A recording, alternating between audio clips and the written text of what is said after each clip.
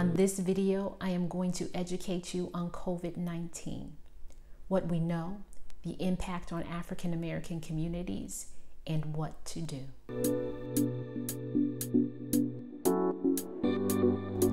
Hi, my name is Naomi. I am a licensed clinical social worker. On this channel, I teach about psychotherapy and what you can do to improve your thoughts, feelings, and behavior. If you are new here, consider clicking the subscribe button below. It's free. Then you'll be, oh, wait a minute. Also, click that little bell. Then you will be notified when I upload the new weekly video. COVID 19 or coronavirus. Crazy. That's some crazy stuff, people. Ooh. It has connected the whole wide world. Wow. And everything has slowed down. The earth was even healing itself as a result of everybody slowing down and turning off.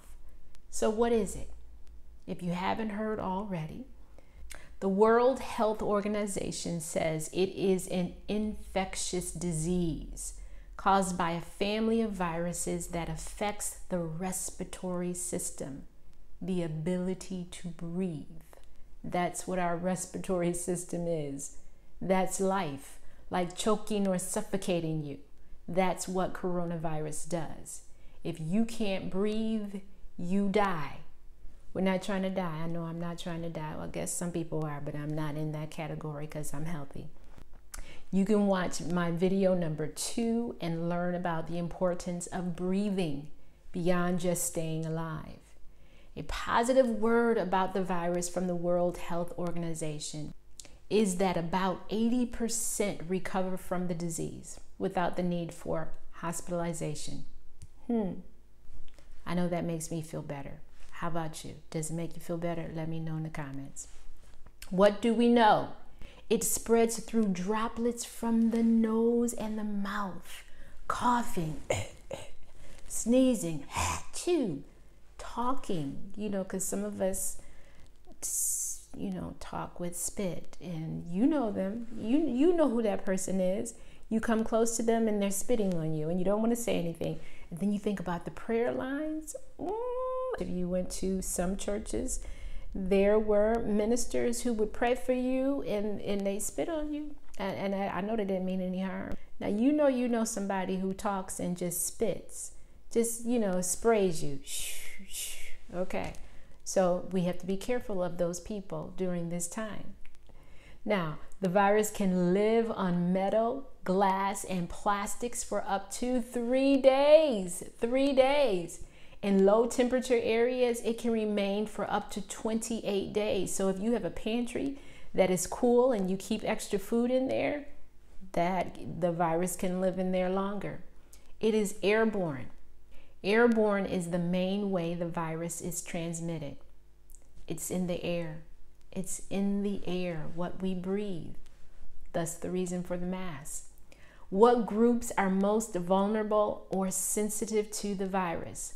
Those who have asthma, diabetes, high blood pressure, heart disease, and older people. They are more vulnerable.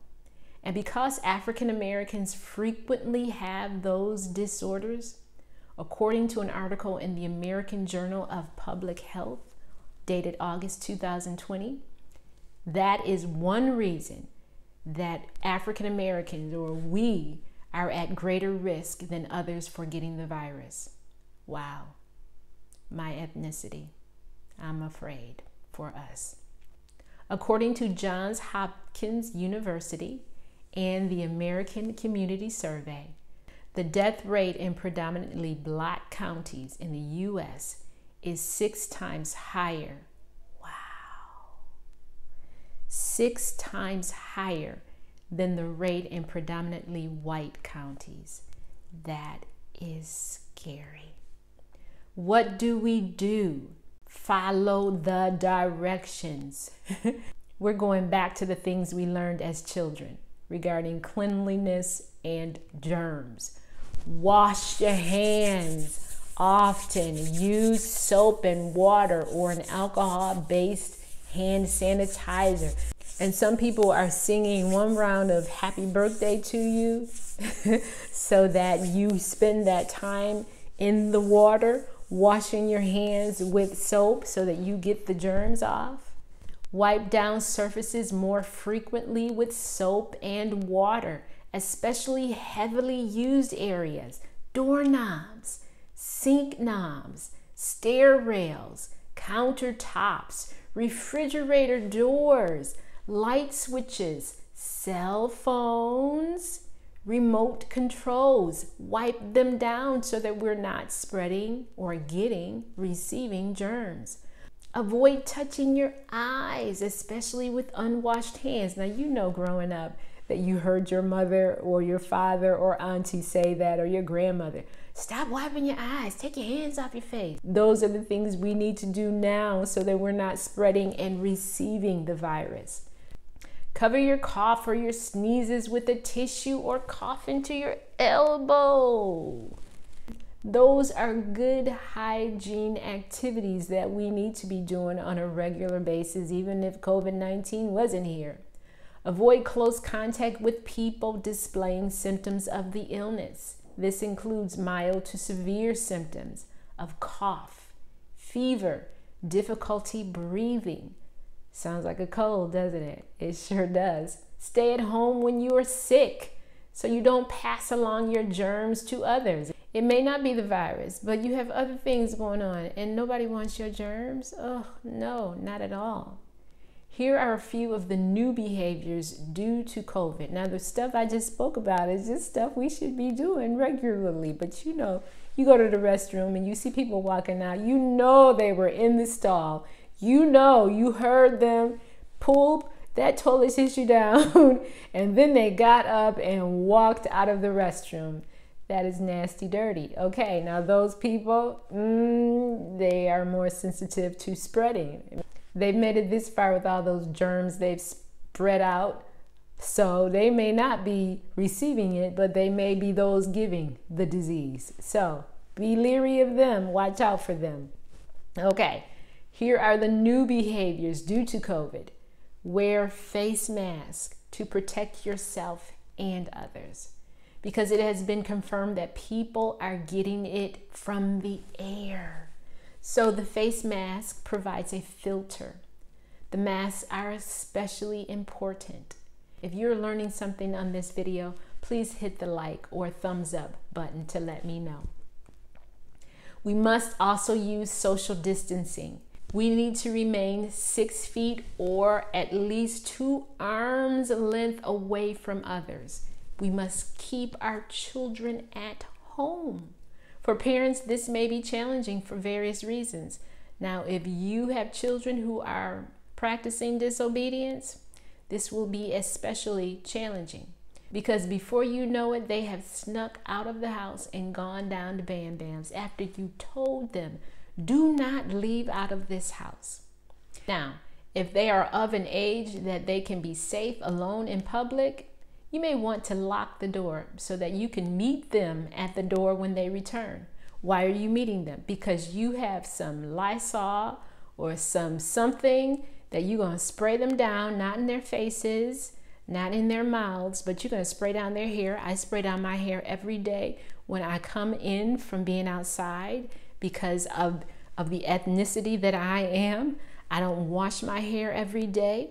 So I spray my hair down, I spray down my body, I spray down everything that I have with me. I spray the bottom of my shoes because I'm spraying off hopefully any part of COVID 19 that I may have come in contact with. Then I immediately go and take a shower.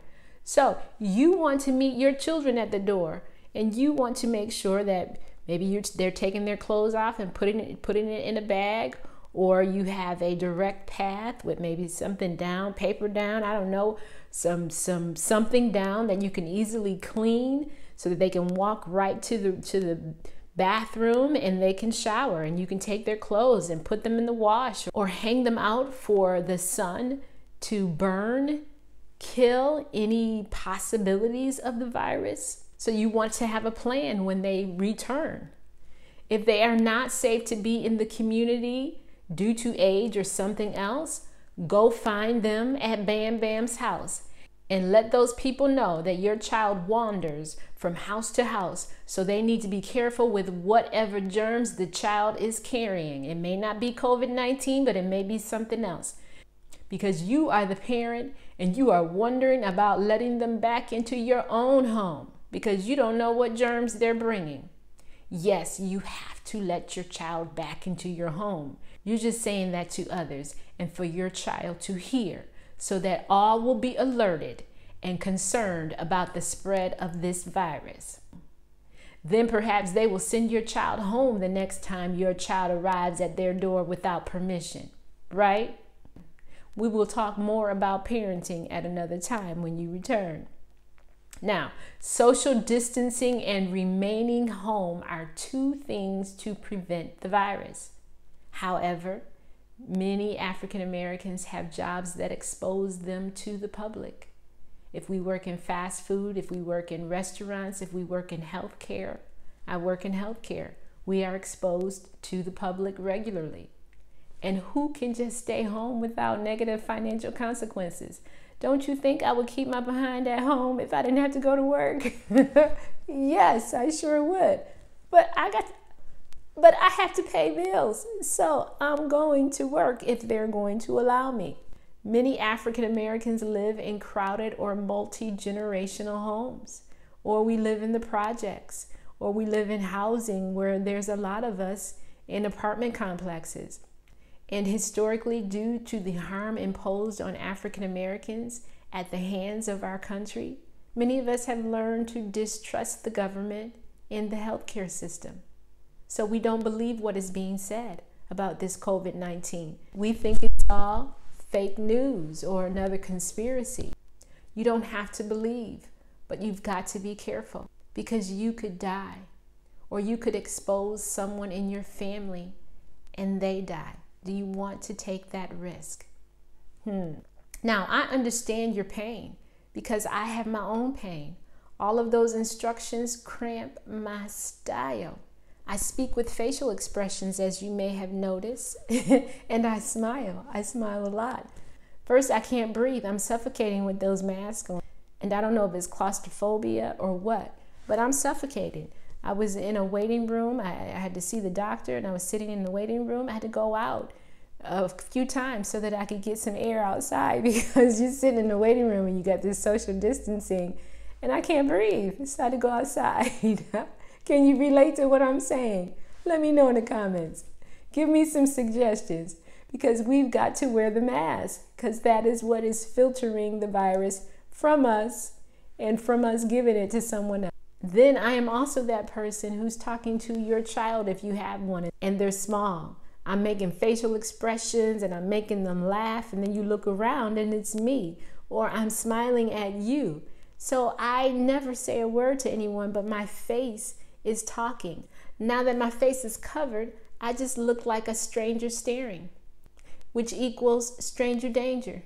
So I must remember that my face is covered. Well, I can't breathe, so it's not too hard to forget. I can't breathe. But I want, I have this this desire to interact and I can't. So it's cramping my style. Now I was at the grocery store standing in, in this long line because of social distancing looking around to see what else I could spend money on. Mask on and six feet away from the woman behind me. I made the comment to her, you know, a little loud. I'm looking around to see what else I can spend money on. She gave me an odd look and then commented, That is their intention, to get us to spend more money. We shared an awkward chuckle. Then I moved forward in the line. By the time I got to the cashier, that woman behind me was 20 feet away. She had not moved from the original spots since I had spoken to her. I didn't know whether to laugh out loud or to be offended. She looked at me and thought I might have the COVID virus. I had reason to be offended, right? You understand, right? No, that's the wrong answer. What am I? Too nice to give or get COVID? I'm African American. More of us are getting it. More of us are dying from it too, but more of us are getting it for various reasons. This virus doesn't care who I am, doesn't care that I have a nice smile and that I'm not trying to offend. Because that would mean that you are too young or too strong, or maybe you're too healthy to get or give the coronavirus. No, those thoughts are too stupid. And the reason the virus keeps spreading. Let's be safe and follow the directions. Don't be offended. I'm speaking to myself too. Remember what I said I was thinking earlier?